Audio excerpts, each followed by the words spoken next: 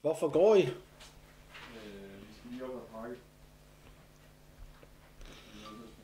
Men, men inden I går, så vil jeg jo så sige, at, at det er jeg jo så ikke taget med. Men det er jo så også, at, at eftersom at... Øh, at det er jo en, en, en... Igen, det her er jo ikke en lokal affære. Altså, det er virkelig en global kamp om, hvordan vi... Hvordan vi redder menneskeheden ud af krisen og frem efter. Og der spiller det altså en utrolig afgørende rolle, hvad der foregår i USA. Fordi USA stadigvæk på godt og ondt har magten til at, at sætte en forandring i gang. Så øh, det er jo et ufatteligt spændende, at vi så kan være- med at sende nogen derover til at, at træde ind i, i løvenskab og forhåbentlig ikke blive slugt. Men, men trække de der øh, rødne tænder ud og, og, og, og ligesom få, få lavet et skifte. Så det er jo meget spændende. Yes. Så I må jo være... Det skal være skarpe og tale til hjertet derovre. Ja, Kom tilbage. så. Og være vores udsendte medarbejdere og rapportere tilbage. Yes. Ja, så kan det være, at vi får nogle rapporter tilbage. Ja. Ja. Ja, det kan man også gøre over Skype jo. Mm. Så Nyt fra fronten. ja, nyt fra fronten bliver genoplevet. Yes. Så ja, men I må... I må holde fanen højt. Men vi er åbent til diskussion. Diskussion, ja. Jeg er ikke med det. Jo, tak.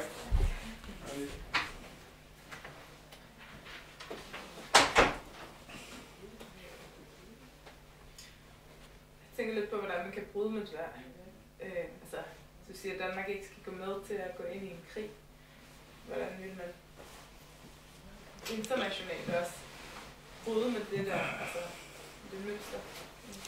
Altså, jeg, altså, altså det er jo sådan en pussy ting, fordi det danske militær, det tyske militær, de fleste andre steder har slet ikke lyst til at blive involveret i en krig lige nu. De, de, altså hvis du snakker med militærfolk, så vil, når vi har snakket med folk her tidligere, sådan, så har de jo sagt, jo, men der kommer jo ikke nogen krig, for alle er træt af krig nu. Vi overgår det ikke mere, altså det slider. Det slider på, på, på, en, på et militær at være i krig. Altså det, det er alt lige fra soldater, som kommer hjem med traumer, øh, til militær, øh, hvad hedder det, øh, til, til materiellet, som bliver slidt op. Sammen gælder i allerhøjeste grad for USA.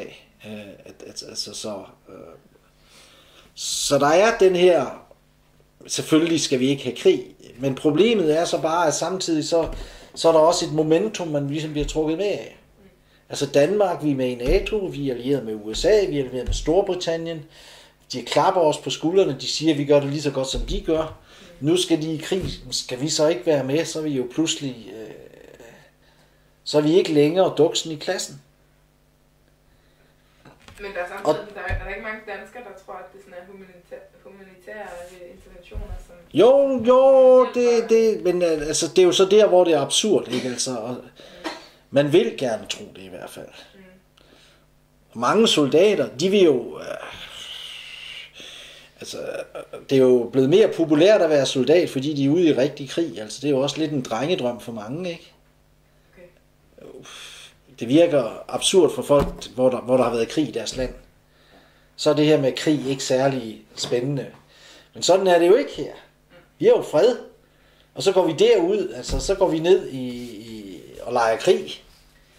Uh, og det er jo meget spændende. Og, og, Det tilføjer måske også en mening, ikke?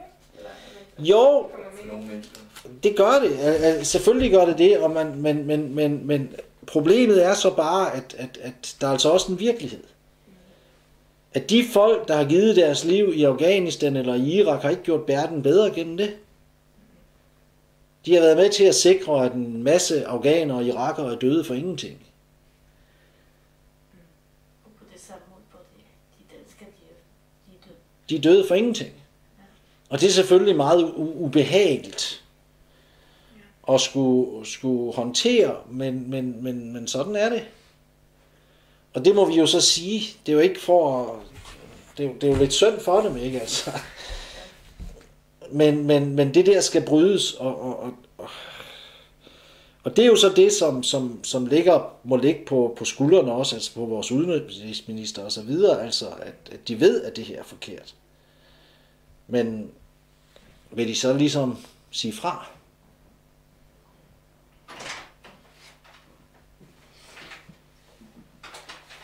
Det, men det skal man altså, altså, altså, altså det er lidt ligesom, altså første verdenskrig, det er sådan lidt mareridt, det er alle, man marcherer ligesom, man går fremad, man ved godt, det er tåbeligt, alligevel gør man det, fordi hvad skulle man ellers gøre? Og det, og det er det, som alt, det, det, det er lidt som, altså det er det, der, der det, hvis mennesket ikke er menneske, hvis man ikke er i stand til at sætte sig ud over sine umiddelbare instinkter og fornemmelser, så, har man, så, så er man ikke et menneske, så er man i princippet et dyr stadigvæk. Mennesker er i princippet også dyr. Hvis ikke de gør det, ja. Men Mennesker har jo den egenskab af, at de kan skille mellem godt og ondt. Altså, som sådan, altså. Ja, Er de ikke? at de kan. Ja, de kan øh, Ja. skille mellem øh, godt og ondt. Det var ikke, at de er dyr, altså, der var ikke, jeg kender ikke noget andet dyr, som jeg kan tænke på andre måder. Præcis. Og ikke nok med, at vi kan skelne mellem godt og ondt. Vi har også i os øh, nogle, nogle, nogle helt unikke færdigheder som menneskelig kreativitet, som gør det muligt for os at skabe det, der skal til for at skabe godt og modvirke det onde. Så, så øh, problemet er bare, at, at, at altså det, som man havde med Første Verdenskrig, at du ligesom har i et land, du ligesom får en, en, en, en nationale kultur, så hylder man så et, et, et fællesskab, som har med i sig, at vi er fjender med dem derovre. Og så bygger du op på den anden side ligesom et fællesskab, en fælles forståelse om, at der er os, og så er vi dem derovre et problem. Og hvis du gør det længe nok, hvis du ligesom længe nok vender dig til, at vi er i den der konfrontation, så bliver det også en selvopfyldende profeti. Altså så bliver det sådan, jamen så på et eller andet tidspunkt, så kommer det. Og når du siger, på et eller andet tidspunkt siger, jamen sådan, det kommer jo alligevel, så kan vi lige så godt få det overstået. Og det, det, den dynamik har man lige nu, når det gælder processen med at konfrontere Rusland og Kina. Altså, du kan se, også se det på dækningen, man har det her med Syrien. Ikke? Altså, man siger ligesom, altså, hvem er russerne? Så hvor, hvor, hvorfor holder russerne hånden under Assad? Ikke? Hvad er der galt med dem? Kan de ikke se, at det her er forkert? Og det er jo så absurd, altså, fordi her har du bilbomber, springer og så videre. Nu er der jo 40.000, der er dræbt i Syrien, ikke? Og det er jo Assads skyld. Det er jo ikke Assad, der har rendt rundt og dræbt de 40.000. Hvad fanden alle sammen? Det, det er ikke ham, der fører krig i den forstand. Det, det, det er det, man skal huske på. Øh, altså, altså, det er den her... Øh, øh, at, at man ligesom har besluttet sig for, at, at vi her er enige om, at sådan her er det bare, og så kører vi på. Og så på den anden side siger de, jamen det er jo så urimeligt, det er jo så himmelråbende forkert, hvordan kan de gøre det her? Og så får du ligesom den der, at der er ikke nogen anden vej. Så må vi tage et opgør. Øh, Men det er jo lidt det samme, man ser med den, altså den illusion, folk lever i omkring, øh, omkring øh, finanssystemet, ikke? Altså, det er jo det samme. Der er ikke andet at gøre, det er bare mere, mere øh, altså flere redningspakker og sådan, altså, det er jo også en illusion. Hvor folk fortæller sig selv, at bankfolk, bankverdenen fortæller sig selv, at, øh, at der ikke er andre muligheder. Det er det samme, altså.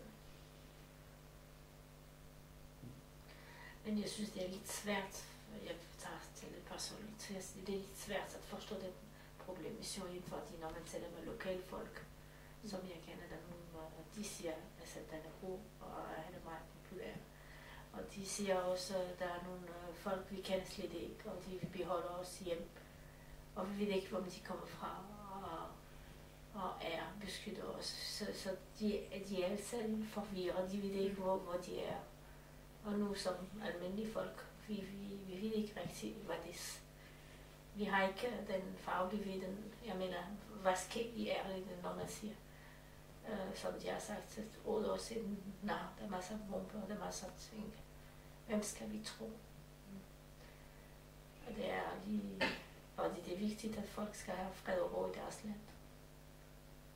Ja, Altså sådan som jeg forstår den her krig, altså det er det, at man har... Altså Irak-krigen, det var sådan set bare en oliekrig, men selv kalder jeg, jeg betegner jeg sådan mere som en gaskrig, på grund af, altså øh, fordi øh, russerne, de vil øh, levere masse olie til Østeuropa primært her, altså med gas og så videre der.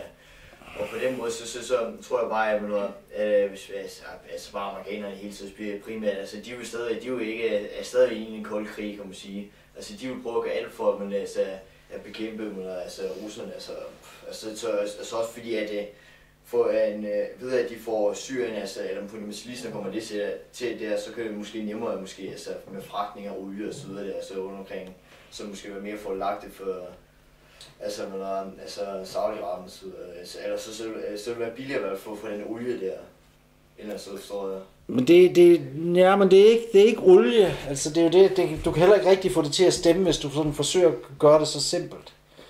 Altså, altså det er...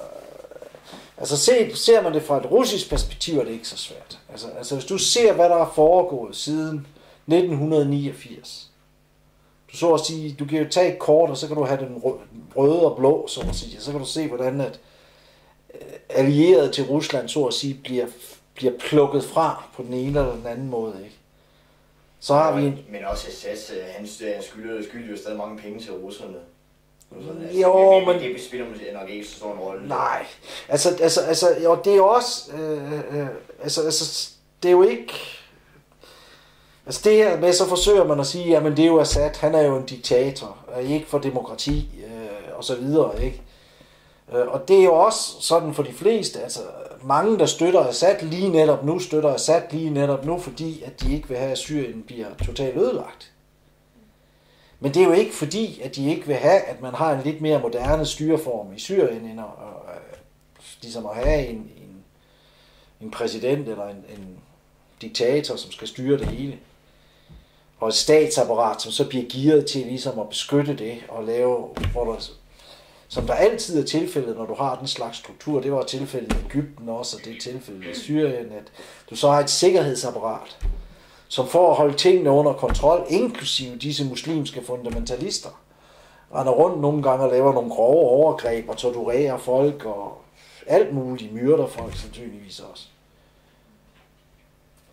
Så alt sådan noget foregår. Så noget foregår i Saudi-Arabien i stor skala. Som vi så ikke siger noget til, fordi at Saudi-Arabien er jo ven og allieret. Men alt det har ikke, har ikke noget at gøre med, med konflikten. Det er i den forstand geopolitik. Altså man er i gang med at om... Altså i den forstand kan man sige, at, at, at, at, at, at, at altså den eneste måde, jeg kan forstå, øh, hvad det er, man laver, fordi altså man kan sige, hvad interesse skulle der være i at fjerne sekulære regimer, altså som i, som i, i de fleste tilfælde er baseret på militæret. Fordi militæret ligesom er, er, er den nationale institution, hvor folk fra hele befolkningen kan være med. Så, så, så for eksempel det var tilfældet i Ægypten, det er tilfældet også i høj grad i Syrien og så videre. I mange andre lande er militæret er den samlende institution. Så det er heller ikke sådan, at vi, det er ikke, øh, øh, det er ikke militæret mod befolkningen, fordi befolkningen er også i høj grad en del af militæret. Men det, det er det, der er den nationale institution. Og det man så gør med det muslimske broderskab for eksempel, det er, at man forsøger at mobilisere befolkningen under religionens banner imod staten, imod øh, militæret, imod, hvad kan man sige, en, en sekulær stat. Og så bliver det i stedet for, at man siger, som det muslimske broderskab siger, at vi skal jo ikke have nationale institutioner, vi skal jo have ligesom et muslimsk øh, imperium. Ja. Hvilket ikke er godt. Altså det er igen, hvordan, hvor, hvorfor skal vi have nationalstater? Fordi det er en måde at organisere os på, hvor det er muligt for, bef- hvor du kan have, hvor det er muligt for befolkningen, takket være en fælles kultur, fælles sprog, fælles historie, at have medbestemmelse om, hvordan vi skal organisere os selv. De vil komme tilbage til hvad siger du? De vil komme tilbage til Khilafah. Khilafah. De vil samle sig også. Det er det, de vil have. Jamen, sådan et kalifat. Ja, kalifat. Ja. Som er en, igen en fantasi. Ja, Tak. Ses. Ses. Jamen altså, og det er jo så igen øh, i mange tilfælde også sådan lidt, lidt romantik sådan tilbage til et eller andet. Altså det er det samme, man spiller på i Tyrkiet. Tilbage til det osmanske rige, til storhedstiden, til den gang. Øh, men det der også ligger i det, det er, og det er for grunden til, at britterne bruger det, og det, man skal huske, at det muslimske broderskab blev skabt af britterne, det er dem, der har kørt det. Fordi de har brugt det mod nationalstater. Fordi for britterne, og det er så logikken i det nuværende, jamen det her er en måde at smadre nationalstater på. Og nationalstaterne er den eneste myndighed, der kan gå ind og stoppe de her private interesser for at gøre, hvad de vil.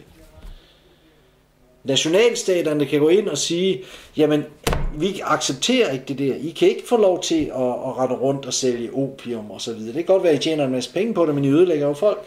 Så hvis I gør det, sætter vi jer i fængsel. Eller nationalstaten kan sige, jamen her i landet har vi en mindsteløn. Her i, land, man, her i landet, så skal folk have en løn, så de kan leve af det. Jamen jeg vil godt ansætte nogen til en lavere løn. Ja, det kan du bare ikke få lov til. For sådan gælder det i vores land.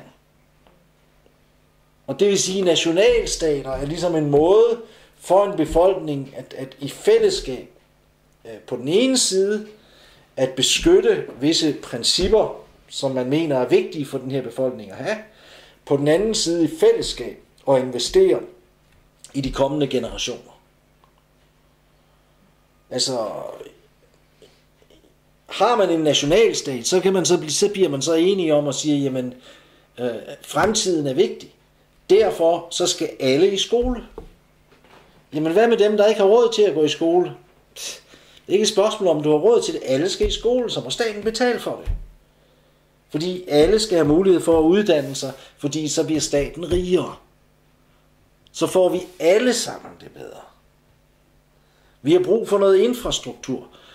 Jamen, øh, øh, øh, hvorfor skal vi bygge en havn? Jeg har ikke tænkt mig at bruge en havn til noget. Hvorfor skal jeg være med til at betale for en havn? Ikke? Fordi, at hvis vi har en havn, så bliver landet som helhed rigere. Så derfor bygger vi en havn. Og selvom du, jo ikke har tænkt dig at bruge en havn, så får du alligevel gavn af, at landet udvikler sig, og der er en havn.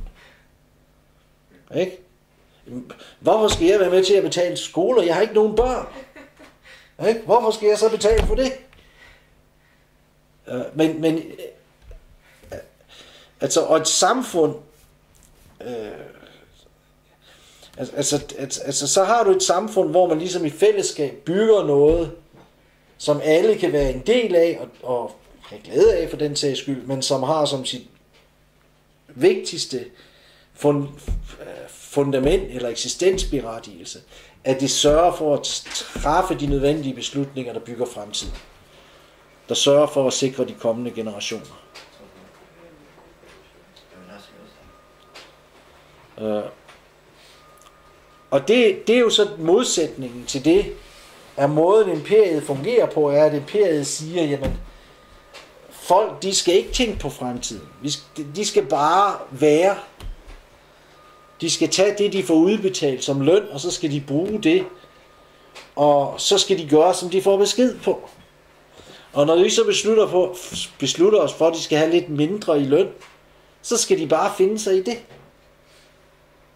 Altså som en slave, kan man sige, ikke? Så er der nogle mere velbetalte slaver, og nogle dårligere betalte slaver. Øh, vi kan ikke slavsøger, fordi vi er mennesker, vi tænker, og der nogle gange vi er ja, men så desværre viser det sig jo også, at folk de kan desværre blive lullet lidt i søvn. At, at de, Eller hvis de de de kan dels blive skræmt, og så, men de kan også blive lullet i søvn, at de kan, så at sige, at, at bruge deres evne til at tænke, til at tænke på banale ting, og ikke på vigtige ting. Eller man kan skræmme folk i den grad, at de næsten ikke tænker. Men det er mod menneskeligheden, fordi vi er, vi er, vi er, vi tænker. Det er som mennesker. Når vi der hos opasser. Det betyder menneskeligheden. Som mennesker vi tænker. Ja. Det, vi kan ikke stoppe det. Det kan være, at vi skal kalde vores bevægelse vi, der tænker. Så må vi håbe, det ikke bliver en lille eksklusiv. Så tror jeg ikke, vil jeg lige blive misforstået mange. Det er Jean-Jacques Rousseau, der har sagt det. Vi er svage, men vi tænker. Der er ikke nogen, der kan stoppe os. Altså det er det, der er lidt skræmmende, når man ser tingene her. Hvor er alle de folk, der tænker henne? Hvorfor hører man ikke mere til dem? Ikke? De er travlt med at tænke.